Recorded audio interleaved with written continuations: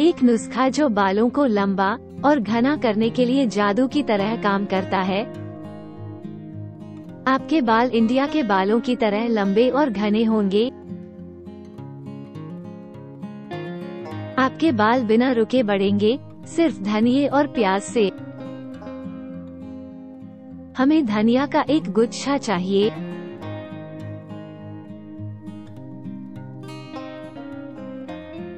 धनिए को छोटे छोटे टुकड़ों में काट लें। धनिया बालों को कंडीशन करता है और कोलेजन के उत्पादन में सुधार करता है, जो बालों की ग्रोथ के लिए ज़रूरी है। ये रक्त परिसंचरण में सुधार करता है, इस प्रकार बालों के विकास को बढ़ावा देता है। यहाँ तक ये बालों को धूप से होने वाले नुकसान से भी बचाता है। अब हमें दूसरी चीज़ चाहिए, मेथी। मेथी को छोटे छोटे टुकड़ों में काट लीजिए। मेथी बालों के विकास के लिए अच्छी होती है।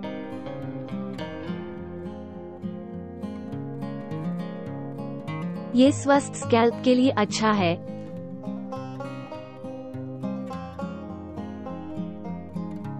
यह एक बेहतरीन हेयर कंडीशनर है।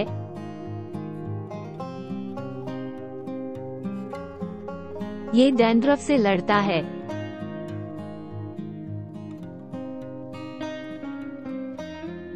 एक प्याज ले और उसका छिलका उतार लें।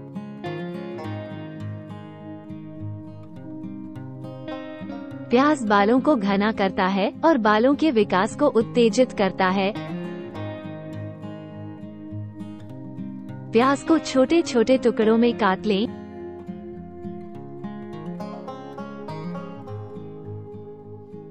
प्याज गंजेपन का इलाज करता है और बालों के रोम को पोषण देता है।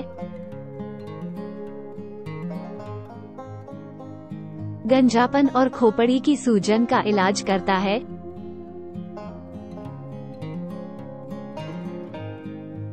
हमें लहसुन चाहिए।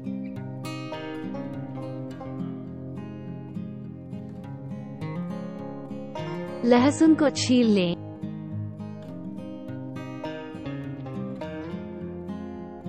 लहसुन को छोटे छोटे टुकड़ों में काट लें।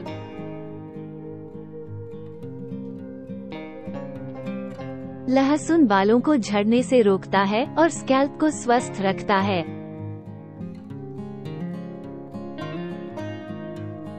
कटे हुए धनिए और मेथी को ग्राइंडर में डालें।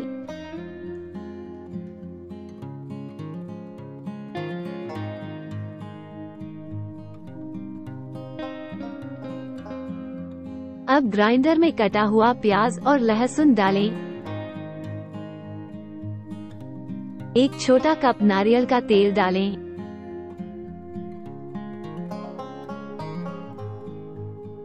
आप नारियल के तेल की जगह सरसों का तेल भी डाल सकते हैं। नारियल का तेल बालों को झड़ने से रोकता है और उन्हें स्वस्थ रखता है। फिर सामग्री को अच्छे से पीस लें।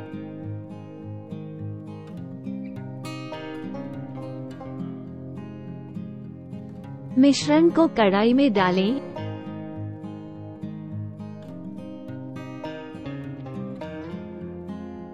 फिर दूसरा कप नारियल का तेल या सरसों का तेल डालें।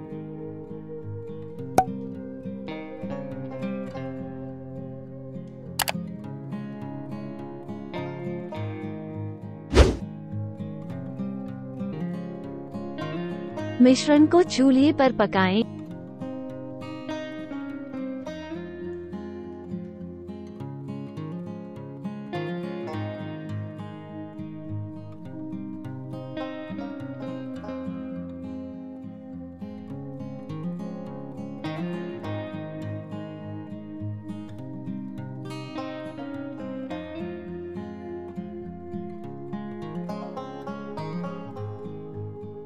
मिश्रण को ठंडा होने के लिए रख दें।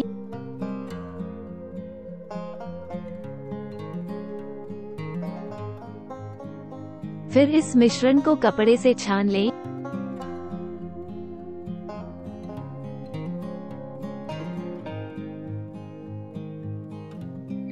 आप विटामिन ई e तेल की कुछ बूंदें भी मिला सकते हैं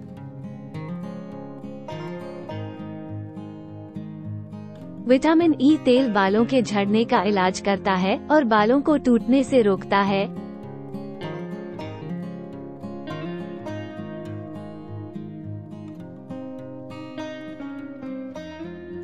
मिश्रण को एक छोटे जार में रख लें।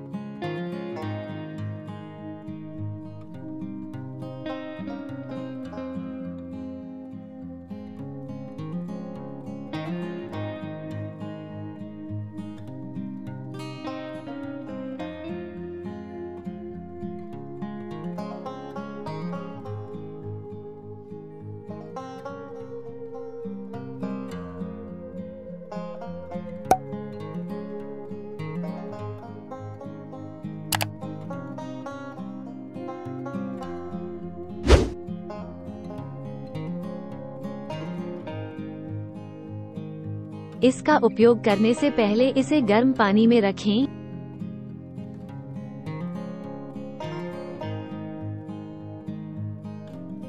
मिश्रण को गर्म करने के लिए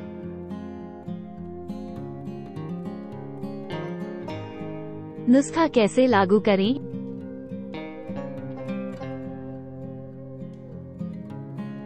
मिश्रण को स्कैल्प पर लगाएँ। अपनी उंगलियों से स्कैल्प की मसाज करें। अपने बालों को शावर कैप या प्लास्टिक रैप से ढक लें। इसे एक घंटे के लिए अपने बालों पर लगा रहने दें। फिर बालों को शैम्पू से धो लें। सप्ताह में दो बार नुस्खा का प्रयोग करें। इस नुस्खे को आप लंबे समय तक सूखी जगह पर रख सकते हैं। देखने के लिए धन्यवाद।